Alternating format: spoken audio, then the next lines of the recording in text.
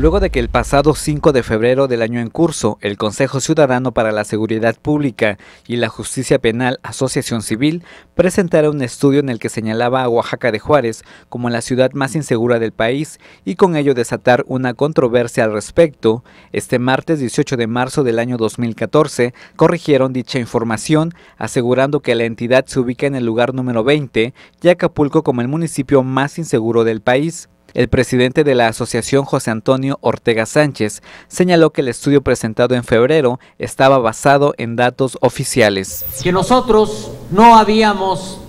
inventado las cifras. Las cifras las puso el gobierno del estado, no desagregó por municipio como debería de haber desagregado la información que precisamente el Secretariado Ejecutivo tiene delitos del fuero federal, delitos eh, eh, del fuero común y tiene también una parte para incidencia municipal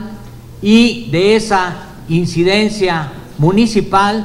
fue donde nosotros tomamos la información. Sin embargo, se reservó los comentarios referentes a homicidios dolosos y violaciones registrados en el municipio. Al finalizar, puntualizó que la violencia es lo que más preocupa en el país y respecto al tema de la sección 22 hizo un llamado a aplicar la ley a los mismos, ya que son quienes también crean clima de desorden en la capital oaxaqueña. Que una vez que la autoridad del Estado desagregó la información y colocó la información que había puesto como del el municipio de Oaxaca y la desagregó en los 19 municipios, nosotros pudimos también hacer la corrección en el estudio y es evidente que Oaxaca no ocupa el primer lugar de violencia en el país. Con imágenes de Rafael Vargas para MVM Televisión, Celestino Chacón.